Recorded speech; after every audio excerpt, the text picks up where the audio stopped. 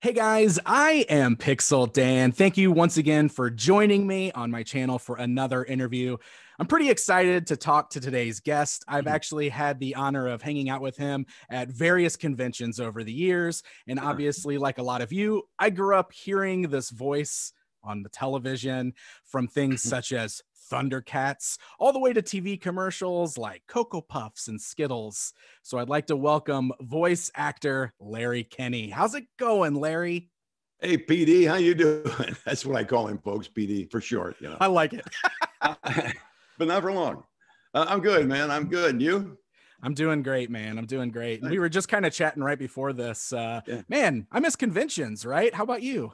Yeah, me too, man. I tell you, miss miss seeing the fans, you know, and, and the other participants like you. And uh, you know, you make a lot of friends on these things, both on this side and that side of the tables, right? I mean, you get to meet all the fans, and and uh, I, I've always liked the fact that I can I, I can meet people in the business that I've never met before, too. You know, some of whom are kind of you know idols of mine. So um, it, it's they're a lot of fun, yeah Yeah. and you are uh, we just found out earlier that i just found out that uh, i grew up about uh, what 90 miles away from where you are right now Yeah, that's right. Yeah, we're both Yeah. uh both Illinois boys, right? yeah it may not be that far springfield yeah, springfield's probably about 90 miles i grew up in uh, pekin illinois which is Yeah. across the river from uh, peoria Yeah. Anybody knows where that is I know where it is because it's not too far from me, but yeah. i know where springfield is as a matter of fact you just go to the state fair every year oh yeah. love the state fair man corn dogs and lemon shake-ups Oh man, yeah, and those little fried donuts and just yeah, good stuff. Excellent. So yeah, I thought we would have just a, a little chat kind of talking about, you know, your voice acting career and Thundercats is obviously just as relevant now as ever. So we can talk about, you know, your work on Thundercats, which I know with my generation, that's one of the things you're you're most known for, of course, the, the Yeah. of Lion-O. yeah Um, so with the voice acting thing, why don't we kind of go ahead and just kind of start with that? Like, what what got you in to the to the job of being a voice actor? How did that all start? Well, uh, I started my career in, in radio as a disc jockey in Peoria, Illinois, back in Awesome. uh, 1963. Uh, I was uh, 15 years old, and I, I had been doing a in my high school, Pekin High School. Uh, we had a you could take a radio class, and they actually had a studio, a state of the art studio in the school, which looking back on it now, it's almost unbelievable, you know, for a small town like that in, in 1963. Uh, and we did an actual radio show, a 10 minute show every day uh, during lunch hour, I think. Uh, that was, uh, uh, heard, we, we did it over telephone wires to the local radio station, you know. Oh wow. So we didn't have a transmitter, obviously, but we had everything else. We had the board and the tape recorders and you know all that kind of stuff. So anyway, um, I was taking that radio class, and um, uh, and then one day I got a call from the big radio station across the river in Peoria, WIRL, and long story short, they offered me a, a job, and that's where I started in radio. And and I had always done uh, like cartoon voices and things. Uh, my mom tells me that um, from as long as she can remember, uh, after I started talking, I was imitating cartoon voices, and and then later on uh, celebrities and things like that. You know, so when I started doing the radio show, I, I incorporated voices and, and little characters I made up into my show, and and I always did that in radio, and I was in radio for forty years, I guess. Um, and then, then of course, when, when I got to New York, where you know the majority of all the network commercials are done, New York and LA, uh, then I started getting jobs doing doing the voices on commercials. So, so I've always done the voices in just different venues, you know. Yeah, But that's how I got started in in the business. Yeah. That's very cool. That's very cool. And you kind of mentioned some of the commercials. What were some of like the earliest commercial roles that you took on? Is there anything that we would know? some of the earliest ones. Well, the earliest commercials I did would have been, you know, when I first started in radio back in '63, because you you had a lot of times read live commercials on the air, Right. and then in the, in the smaller markets uh, like Peoria and in smaller uh, radio stations, generally the disc jockey staff, either before or after your own show, you'd go in the production studio and record whatever the program director wanted you to record for the, you know, like commercials that would run on other people's shows too. We all did that. And looking back, pardon me, I'm sorry, Dan. Uh, uh, of course, at the time, you know, it was kind of a pain in the butt because what you lived for was to be on the air live, right. you know. And then to get off the air and have to go, I got to go and record these commercials. You know? But looking back on it, man, it was great, great experience. It was, was where I learned the business. And um, and you didn't get paid extra for it back then. It was part of your salary, you know. Oh yeah. But then when I got to yeah, and then I moved up to bigger cities, uh, Fort Wayne, Indiana, then Cleveland, Chicago, and then finally New York. And um, then of course that's when I started reading the. But you asked me the, um, what were some of the earliest commercials? Uh, you're talking about like on TV. yeah, like television commercials. Because I yeah. know, I mean, we, we still hear your voice today on television. Yeah, yeah, so. yeah um, you know, I think I about like no, go ahead. Say, I think about like the, you know, the Skittles commercials. I remember when those Skittles commercials first started, and like I picked your voice out immediately, you know. And oh, you did? yeah, it's amazing because it's like really? I know that voice, right? I know that voice. Wow. Is that that's Lion-O telling me to taste yeah. the rainbow? That's amazing, you know. Yeah. Well, you know, uh, it's funny you should say that because I guess out of all the different voices I do, uh, I used to be surprised when people say they recognize my voice on the Skittles commercials because you know it's, it's a lot different. It's like feel the rainbow, taste the rainbow. You know. Yeah. Yeah. But then, and I kept wondering, like people would come up Comic Con and say, you, "You were you're the guy on Skittles, aren't you?" And I said, "Yeah." And you don't get used to that in this business because in commercials there are no credits on the screen. You know. Right. Of course, now with the advent of the internet, and uh, uh, you, can find out who's any voice is. You know, you just type in who's the who's the voice you know on, on the commercial for this or that uh-huh. but back then nobody nobody would know who did the commercials you know um, of course with uh, with animated series cartoon shows and stuff you get credits at the end this is you know Lion-O played by Larry Kenney and stuff like that so but then I began to realize after I started getting a lot of people saying uh, I, I, I knew that was you uh, finally one of them I said how, how could you tell that I like to know they said because it's the same voice you did on VH1 on uh, Best Week Ever. Oh man, totally.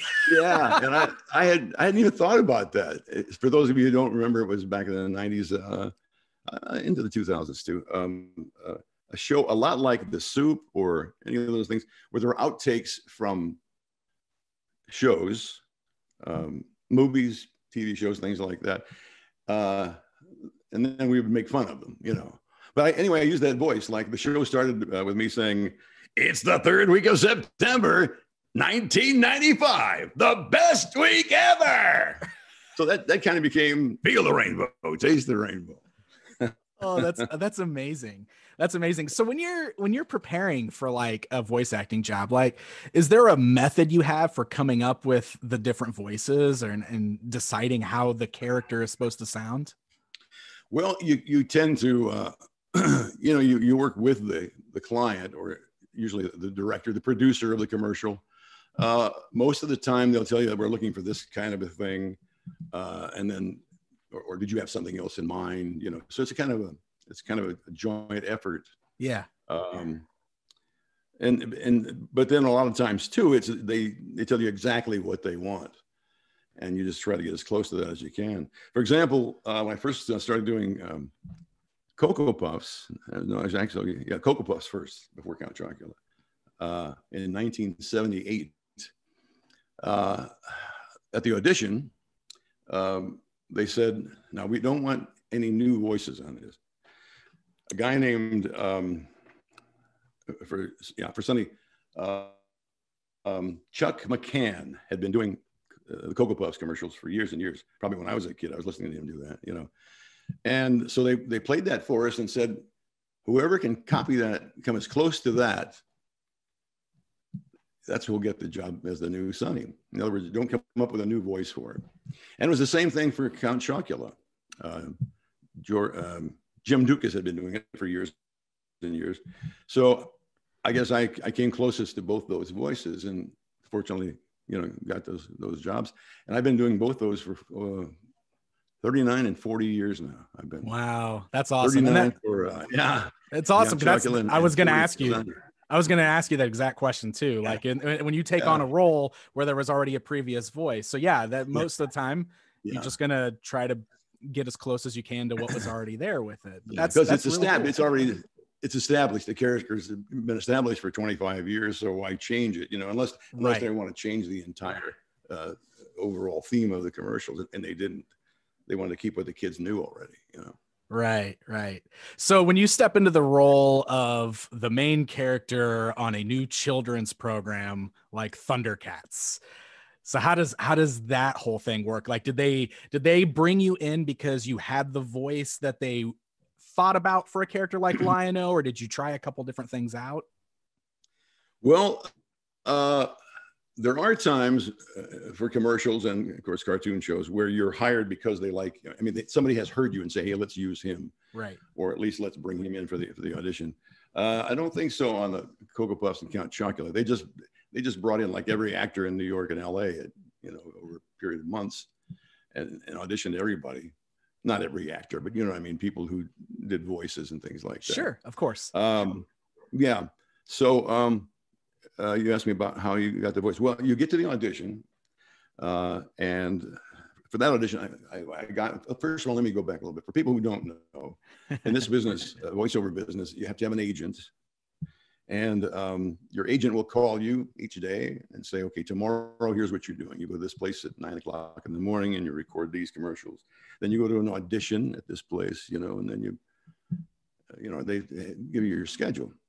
So when I got to the Thundercats audition, they had the whole walls were all lined with uh, uh, illustrations, you know, uh, drawings of what the characters looked like, what the what the uh, show was going to look like, Cat's Lair and the tank, the Thunder Tank, and all that kind of stuff. Oh, awesome! And then they told us, um, they said to me, uh, "We want you to audition for one Thundercat and one mutant." if you remember the show, there were Mumm-Ra and his his evil people were, were the mutants. Uh huh. Now. For for Lion-O, they, they, then they said, "Which ones would you like to read for?" And I said, "Well, I'm going to read for Lion-O. He's the boss, and he's the Lord of the Thundercats. Might as well try for that." And then uh, uh, I picked Jackalman. But for Lion-O, uh, they told us we don't want cartoon voices, quote, cartoon voices for the Thundercats. They are, after all, half human.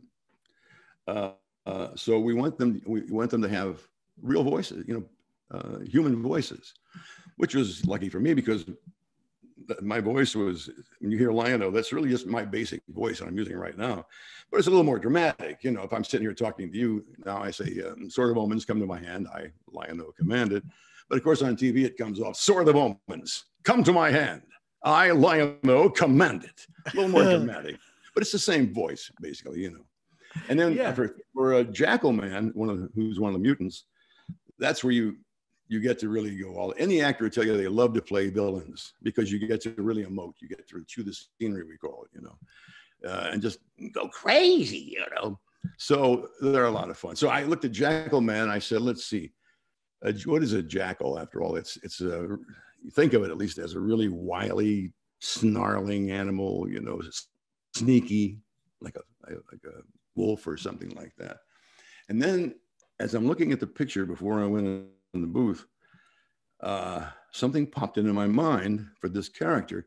It was a character from Rocky and Bullwinkle, which was one of my favorite cartoon shows growing up. I don't know if you're familiar with it. Um, but there was a character named Snidely Whiplash, who yeah. was the, the, the ultimate villain in cartoons. He wore the stovepipe hat and, and had a big mustache, you know, and the black cape. Uh, he'd say, uh, I'm going to get you, Nell, and tie you to the railroad tracks. and all of a sudden, that voice popped into my head. I kind of combined it with the sneakiness and everything. And it came out, We must get the Thundercats. Yes. And that was Jackalman.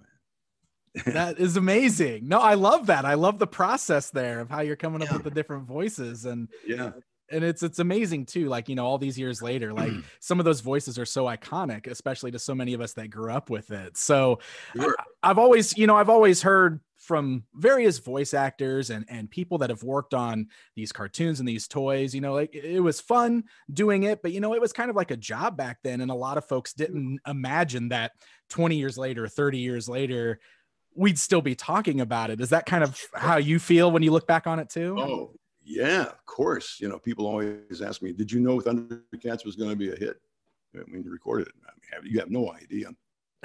We knew, uh, we meaning the other actors and the, the, crew, you know, the engineers and the producers and everybody. Uh, after we had done a few of them, we, we started saying things like, "This is a good show. This is it's written really well. The music is fantastic. Yes, that that hard heavy metal music really for the first time ever in a children's animated television show. And um, the animation was fantastic. So we knew amongst ourselves this has got a chance. But in this business you never know. You're going to have the best actors the best writers everything. And if it doesn't have just that certain something that the public wants it can pick up on you know. But you never know what that is until it's been on the air for a while. And then you either you know, they, they either buy more of them or they just, you know, cancel it and it, it's all over.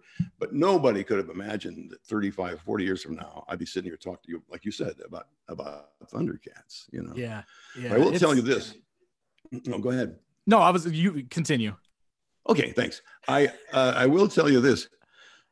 The moment that I knew Thundercats was going to be really big or was really big already, a couple weeks before Christmas in uh, probably 86, the show had been on for it was 85 probably. She would have been on for several months. And I was shopping at Toys R Us. Remember Toys R Us? Oh, I miss Toys R Us. Everybody does. Um, and I was Christmas shopping a couple weeks before Christmas. And the, the previous time I had been there, uh, when I walked to the hero, superhero section, you know, uh, there was one aisle for Thundercats and there was one for He-Man and yeah. one for, you know, Masters Universe, and all the other ones. This time I, I walked in, immediately I saw three rows with shelves on both sides of all Thundercat stuff. Oh, and I said, cool. "Oh my God, this show's this show is big," you know. And a little funny story, if I may. That same day, I was walking down the aisles, and there were two young boys. I think probably nine to twelve, something like that. And they were, they were looking at the um, action figures. And one of them said, uh, I'm going to get Panthro. He's the coolest one of them, you know. And I smiled. And uh, they're talking to each other, not to me. I'm standing behind them. Yeah. And uh, the other one says, No, I'm going to get Tygra. I like Tygra. well, I couldn't control myself. I said, Hey, guys, why don't you get Lion-O? He's the one who says, Thunder, Thunder, Thundercats. Oh. And they looked at me like, Mom. it says perv, you know? and and uh, so I just kind of okay, and I just kind of walked away, you know, feeling stupid that I even said anything like that, you know. Yeah. But just as I'm walking away, I heard one of them say to the other one, he didn't even sound like Lion-O. Oh my god. That's amazing. It makes you wonder if if either of those kids remember that today and if they're like, yeah, maybe one of them's watching this and they're finding out right now. I I've I've hoped for that for these last 35 years that someday somebody will come up to me at Comic Con and say, "Do you remember two kids at Toys R Us in New York?" And you were, I would, would love to know. You know, that was you. Oh my god! Because I, I, I was thinking to myself when he said that, I just kind of went, and I had walked away already. And uh, I just thought to myself, "Oh man, kid, if you only knew." Yeah, exactly. grabbing your pants. oh man, that is fantastic! What a cool I, I love that story. Yeah, yeah, that's good. So you know, coming from somebody here who like I'm, I'm a big toy collector. Obviously, mm. when you saw stuff like that in the store, did you ever, did you ever buy any merchandise of the characters that you played just to, just to have it? I, you know, I bought a couple of things. I think my kids were very young at the time, so they weren't in. You know, my kids yeah. were only about four and you know something like that. Um, I think during over the years, the first few years, I think I might have bought a few to give Christmas presents to my nieces and nephews and things like that. But I didn't have. Uh, people always ask me, "I bet, you I bet you have a whole room full of." Uh, no, I have maybe. Uh, well, I have one of the big Lion-Os, you know, the more recent ones. Yeah. But I don't have boxes and boxes of of. Uh, sure action figures, or you know what, what I wish I really had kept. The last couple of taping sessions we did for both uh, for Thundercats and for Silverhawks, and then Tiger Sharks, all those shows we did for Rankin Bass, they would bring huge boxes of animation cells.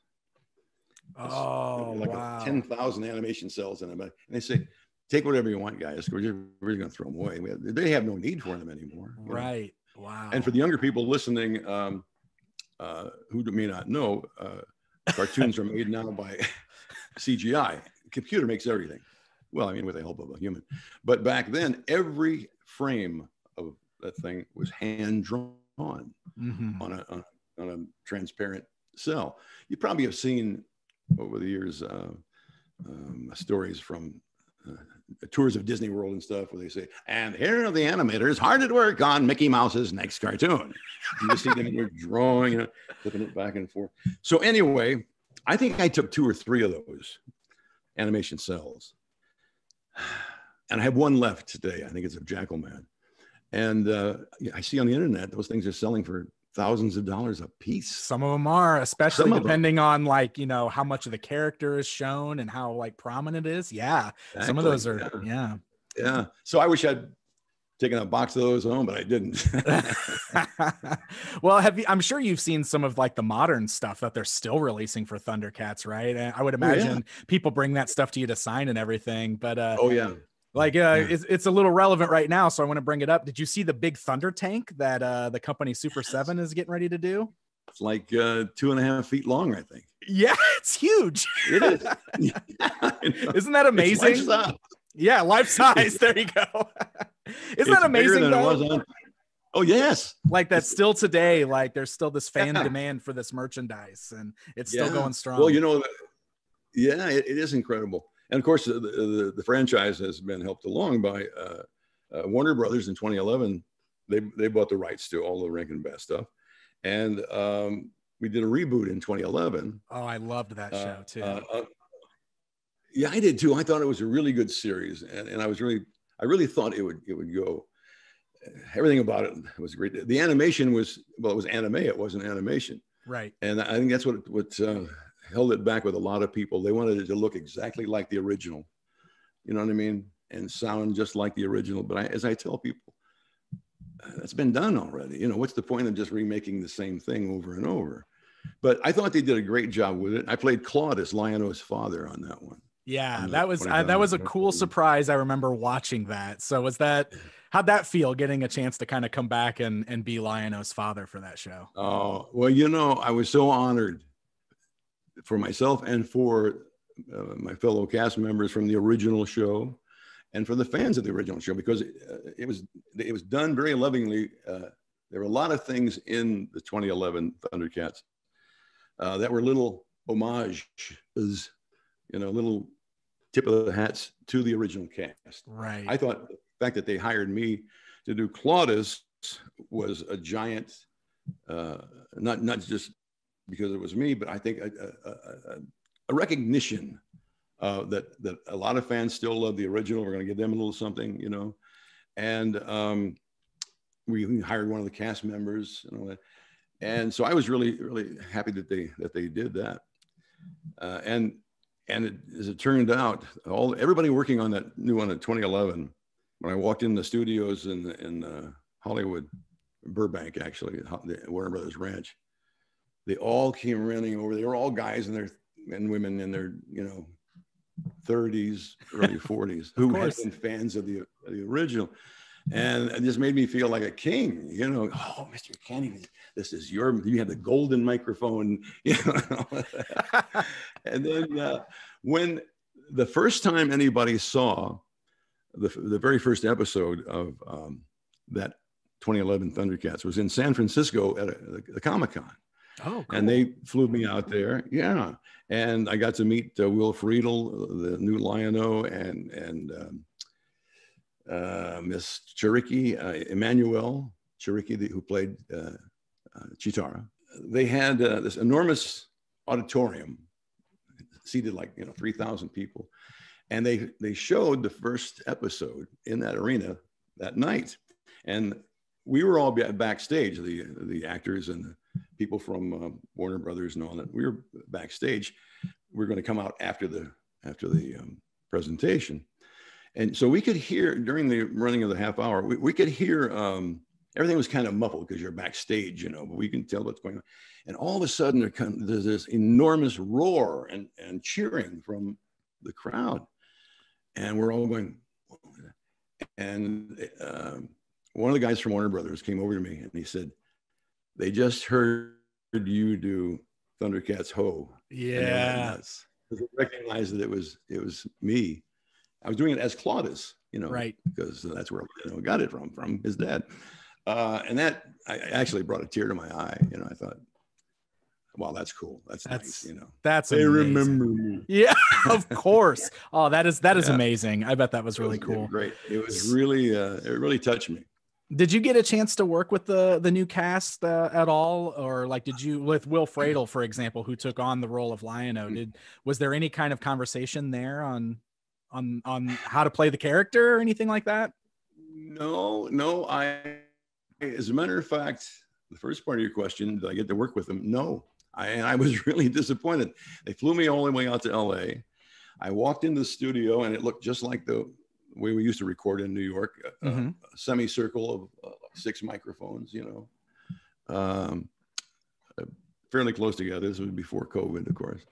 And um, so I just thought that's the way it would be with this new one. I walked in the studio and I, and I got there a little early on purpose. And I just was chatting with the with the recording engineer and you know trying to kill time until Will and the rest of them got there.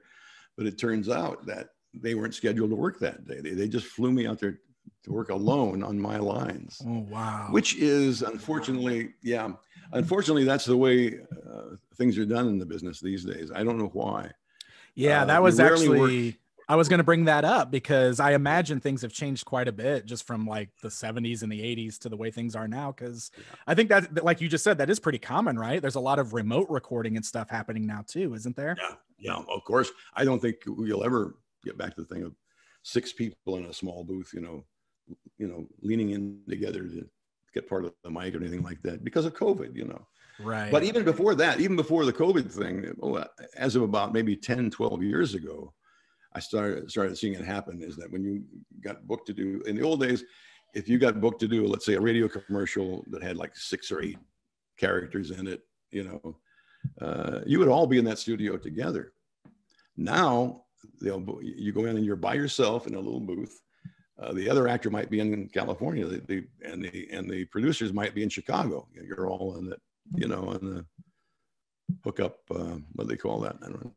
I, I can't keep track of all the tech, technology. Sure, but you I, I miss, and I've talked to other actors who say they really miss being there, looking at, standing next to the person that you're you're acting with to, to get feedback from them. As part of acting is reacting to, to what that person does, or, you know, and it took a while to get used to just being all alone in that booth all the time. You know, it's, I um, imagine that would be a little a little hard. Like, do you find that a little difficult when you don't have the the other actors to play off of, or when you you can't even hear their lines being read? Does that affect your performance? It does. It doesn't make it difficult, not for me anyway. But uh, I don't feel it difficult it's just lonely and it's it's just not as much fun as it should be. I think.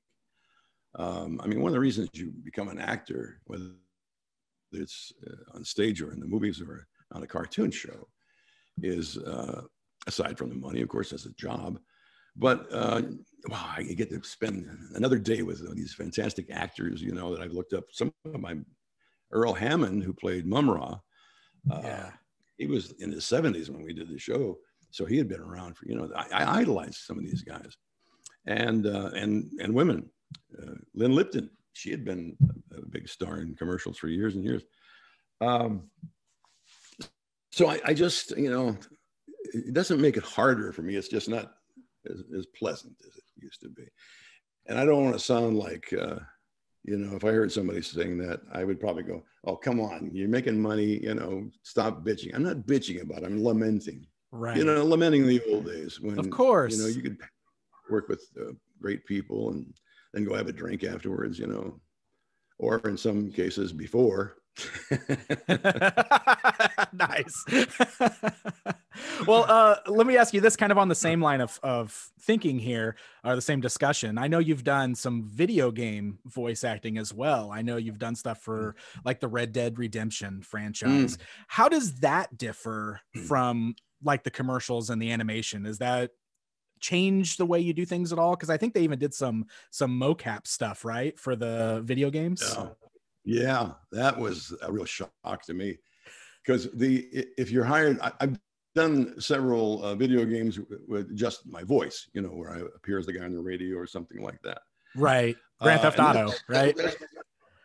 What? I think Grand Theft Auto, you were like the radio voice. Yes. Yeah, Grand Theft Auto 4, I think it was. That's great. And then I did one called um, Alan Wake, something, Mafia 2, bunch of those, and they're fun but there, it was just like acting on a commercial. You know, you're in the booth, you record it, you know, and right. you go. Motion motion capture or mocap uh, is something so incredible.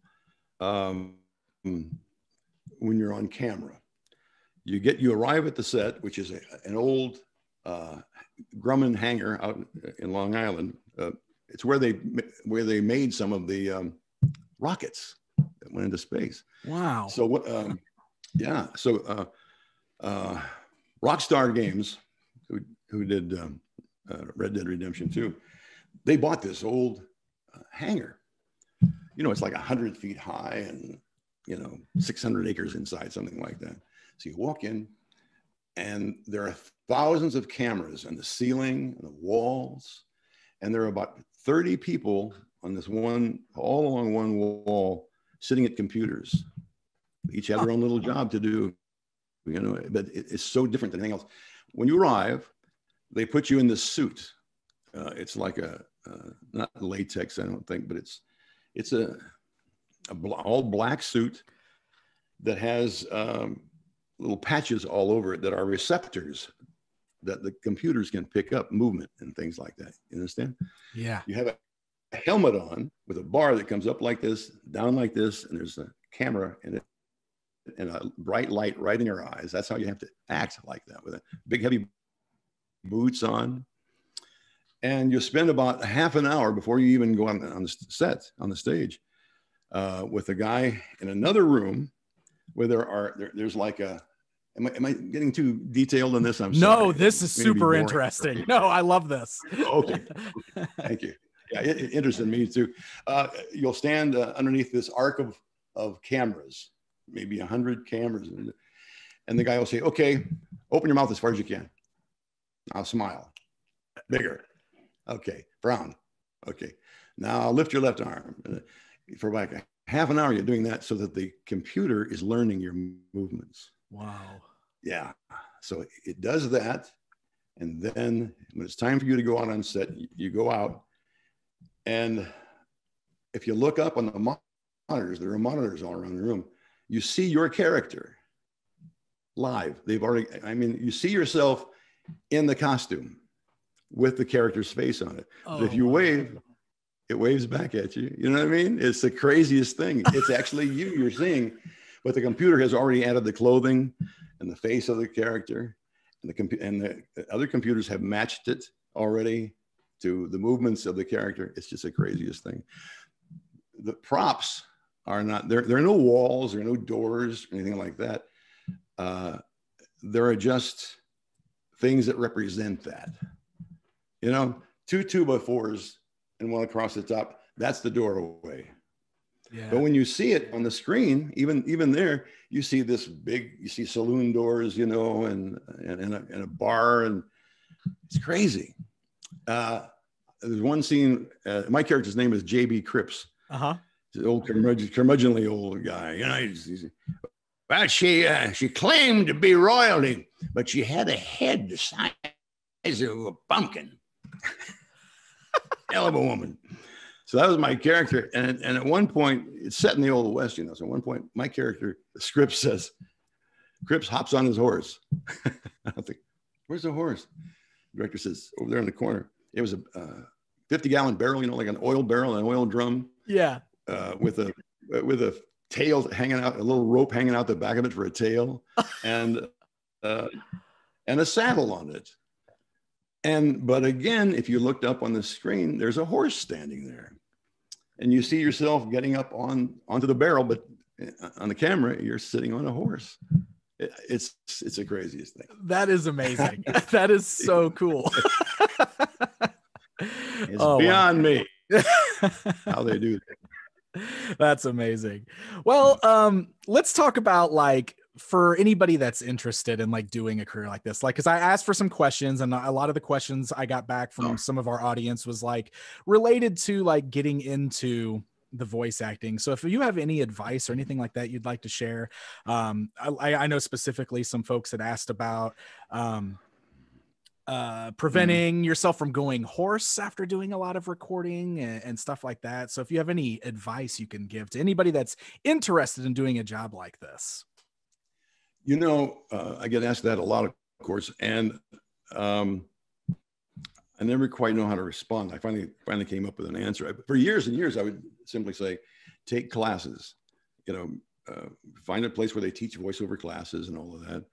Uh, but now with the internet and everything, you can go online and uh, send in auditions and, and things like that. So I'm not really sure, you know, what the best way to do it is anymore. I've been in the business for so long that I don't know what's the best way today, you know, to get to get involved. Those things online, I know I've heard some actors say, uh, don't tell people to get involved with that because it's a it's a, like a, a, not a scam, but they're just doing it to make money off of it. You know, they'll charge you a lot of money for lessons. Oh. And then, or charge you money for this and, and that. But I, I, but I can't say that I know that for a fact. I don't. But I still say the best thing to do if you can is take classes. Um, now, if you're still in school, some people, young people ask me, how should I get prepared for this? You know, I'm still in high school. I say, great, take all the speech courses you can, whether it's even, even debate, take uh, um, public speaking. Uh, if, you, if your team needs a, a, a PA announcer at the football games, say, I'll do it, do that. Anything that's, you know, that gives you some experience at the craft. And um, then uh, uh, even even be in, be in plays, you know, if you can. That's what I tell people who are who still have the time to do that, you know, in school. Um, but otherwise, some some adult comes and asks me, "How do you get into it?" I just tell them, "Well, now with the internet, you know, you can Google voiceover classes, uh, whatever. If you live in um, Alabama, Birmingham, Alabama. You know, Google voice acting classes in Birmingham, Alabama, and you'd be surprised, but they'll pop up a whole couple pages of taking voice acting classes, stuff like that. And there, of course, like anything else, there are going to be some that are really good, you know, and uh, and being given by uh, people who know what they're doing. There's some that are not. You just have to kind of pick and select them. What I tell them to look for is a course. They're usually a couple hours a night for maybe two nights a week for let's say three months, something like that, you know. Sure. But look for one that promises you that when you leave the, the, the when you're finished with the, the course, the program, uh, that you will leave with a, uh, a CD of about two and a half minutes that shows what you can, shows your range. You know, if you do character voices, give them a bunch of character voices and things like that. And the, the good places to learn are the places that guarantee you that when you leave, they will have helped you put together a professional. We used to call them demo reels, but we don't have reel right. tape anymore. So a demo CD, you know, that's an important thing. And also, if you take a, if you take, um, uh, trying to find a class where um, they promise you that during the course of the program, with the months or either there or whatever, you will meet people from an advertising agency. They will have people come in who are other who are voice actors to answer questions you know? You'll get to network with people while you're learning how to do it so that when you leave that place you've got your cd this you know this is my demo. This is this is what i can do. Uh, and you're ready to start going out and either looking for an agent which you'll need in the larger cities or in a smaller city. I guess you can take that around to uh, places and say would you like me to do commercials for you? You know Right. But I, I think taking lessons, taking classes is the best thing to do. I don't know how, otherwise, I don't know how you'd get involved in the business. I mean, you can't just walk into a, advertising agency and say, uh, "Hi, I'm a mechanic, but I'd like to be a voiceover guy. Give me a job." Well, it's you like know? you said too. Things have changed so much over the years, right? And just the way it all happens. But but I think that is still some great advice, right? Get, get some classes, get some training, and yeah, Yeah. that's great. That's great. Yeah. So at the beginning of the interview, we talked about missing conventions and everything, but things are kind of slowly starting to happen again. Mm. And uh, before we get out of here, I did want to make sure we plug that you've got some upcoming appearances, right? yeah, So I got a I got a list here of some dates, and I'll go ahead and read those off because it looks like maybe I better maybe I better take notes because I might not know. yeah.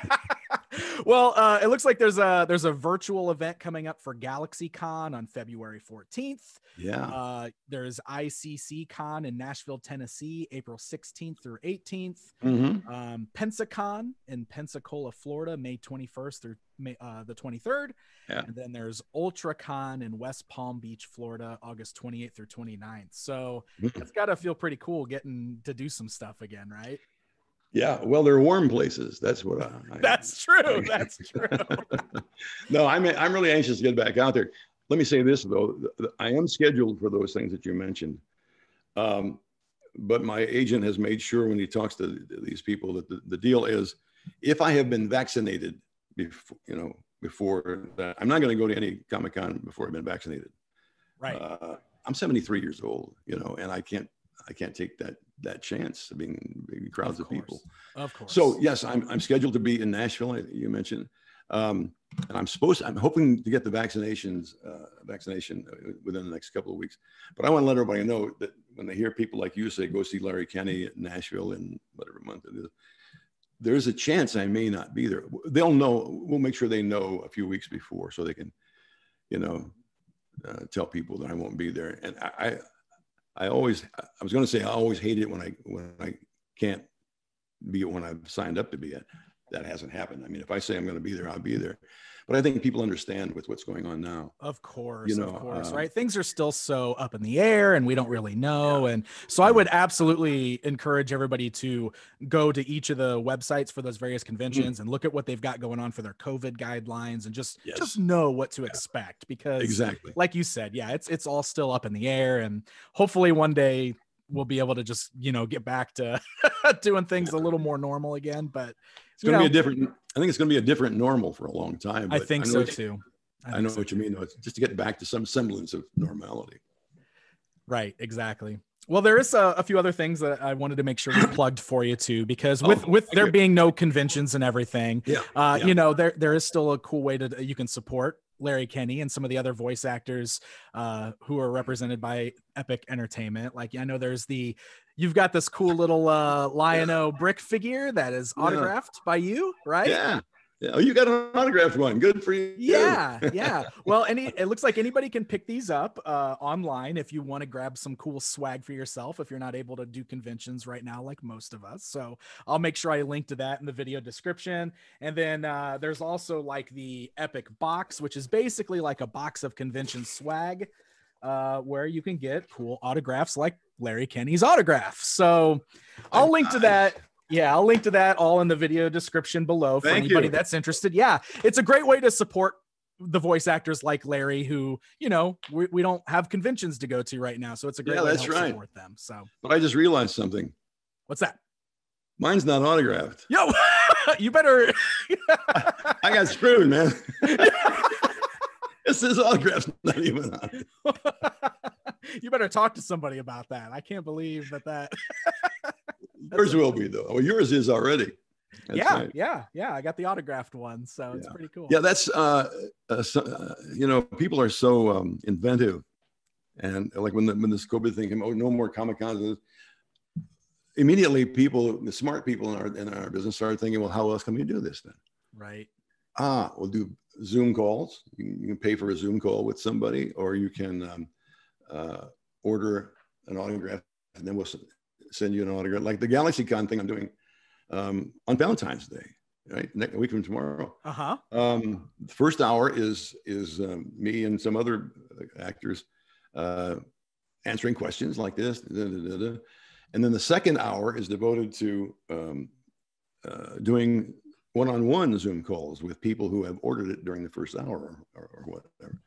So it's it's a very clever way of, of getting us all back together again with the fans. You know. Absolutely. Absolutely. It's cool. It's it's you know, it's been weird obviously having everything shut down, but at least we have the option to do things like like what we're doing right now, like this interview. Like it's cool that we've got the option to do it. All right, hey Larry, so before we uh end yeah. things off today, do you think I could bother you for one big Thundercats ho? For oh, us? of course. Of course. You ready? I'm ready. Let's do it. Let's see if he still got it. Thunder. Thunder Thunder, Thundercats. Ho! Yes, every time, man. I love it every time. Thank you. Thank you. Awesome. Well, Larry, thank you so much for sitting down and having this conversation with me. It's been really fun. It's been my pleasure, Dan. You do a great job. You made I just felt like I was sitting talking to a friend. I like that. Awesome. Uh, thank you, man. Thank you. Guys, I hope you, you I'll see yeah, you out there. I hope. Definitely, definitely. We'll see you at a future convention. It'll happen. and guys, thank you so much for watching. I will make sure again to link down in the video description if you want to check out any of that swag. Until next time, my friends.